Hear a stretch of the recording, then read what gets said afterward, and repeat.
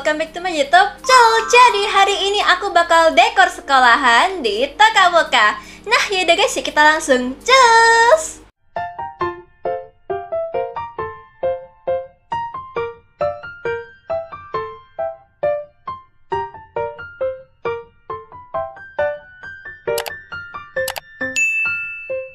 Ya, karena ini masih suasana 17 Agustus dan juga aku itu kangen sama sekolahku. Jadi yuk guys, kita sama-sama dekor sekolah di sini ya.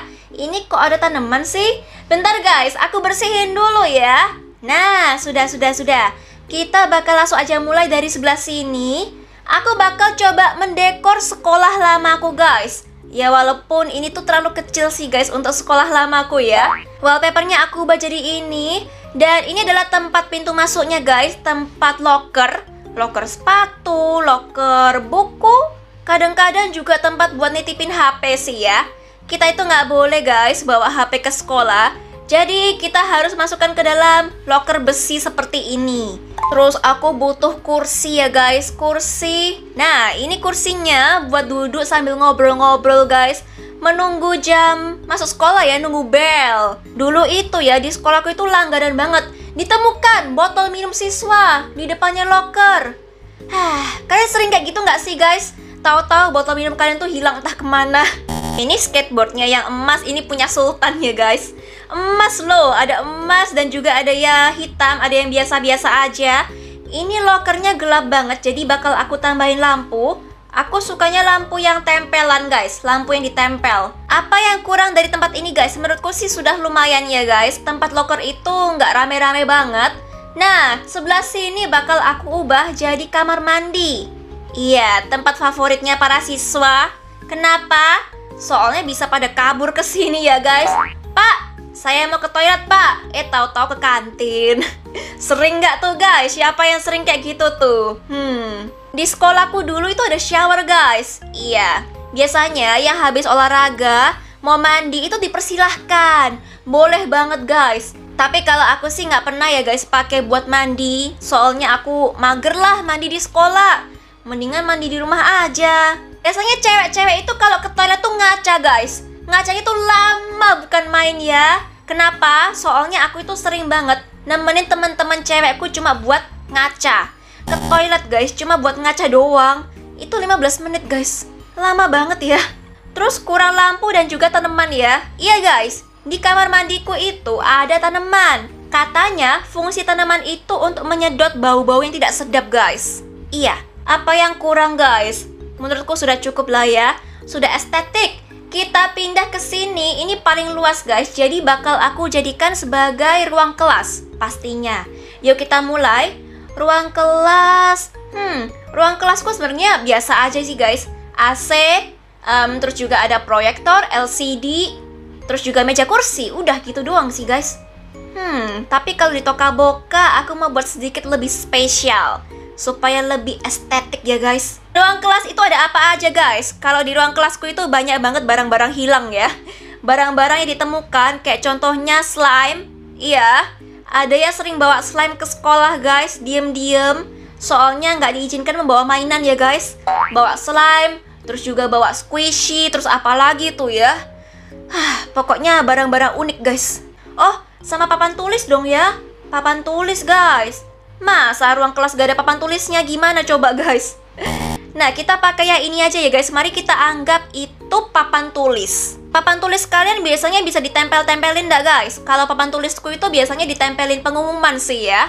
Tapi pakai selotip, solasi tuh loh guys. Jadi kadang-kadang malah meninggalkan bekas gitu di papannya. Jadi jelek guys. Guruku nggak pernah duduk guys. Dia suka jalan-jalan di kelas jadi nggak pakai nggak pakai kursi ya. Wahai bu guru, bapak guru. Ya. Nah, ini mirip banget sama meja kursi di sekolahku guys. Terbuat dari kayu kayak gini ya uh, ini muat berapa ya? 1, 2, 3 Hmm, kalau aku mau pasang 30 nggak muat ya guys Dulu di sekolahku itu ada 30 murid sih 30 sampai 40 murid dalam satu kelas Iya, dan total ruang kelas di sekolahku itu Yang IPS, jurusan IPS itu ada 4 kelas Yang jurusan IPA ada 12 kelas guys Jadi banyak banget ya Biasanya di ruang kelas itu ada apa lagi ya guys? Oh ada mikrofon Kalian ada mikrofon nggak sih? Biasanya kalau guru ngomong tanpa mikrofon itu nggak didengerin guys. Berisik aja itu muridnya ya. Kalau pakai mikrofon, harap diam. Nah, baru kedengeran guys. Oh iya ya, ada ini LCD. Iya, mari kita anggap itu LCD guys. Buat presentasi. Kalau nggak ada itu gimana cara presentasi ya kan? Nah, kita kasih semua laci-lacinya ini guys. Ini adalah kertas ulangan, kertas ujian, juga mungkin tugas-tugasnya siswa. PR mungkin guys, ya. Sekarang bagian atas itu kita kasih, nah piala dong ya. Untuk menunjukkan guys, kalau kelas ini tuh berprestasi ya. Masih kosong, kita bakal kasih tanaman ya guys. Di sekolahku itu ada tanaman di ruang kelas, tapi tanamannya tanaman palsu. Kalau tanaman asli ya seperti kata Nata guys, nanti nyamuan. Makanya pakai yang palsu. Yang asli itu di depan semua ya. Kita kasih lampu guys supaya tidak gelap ya kelasnya. Mm -mm, supaya para murid ini tidak sakit mata semuanya. Nah, kayak gini. Tapi guys, teman-temanku itu suka banget loh guys matiin lampu. Kenapa? Soalnya mereka bisa tidur. Nah, biasanya di setiap ruang kelas itu pasti ada lemari kayak gini, guys. Itu isinya entah tinta spidol, terus penghapus mungkin, spidol-spidol, buku-buku, taruh situ semuanya ya. Hmm, apakah butuh karpet? Enggak deh ya guys, masa pakai karpet? Biasanya di ruang kelasku itu ada poster-poster bertulisan motivasi ya. Nah, sepertinya ruang kelasku seperti ini guys. Gimana?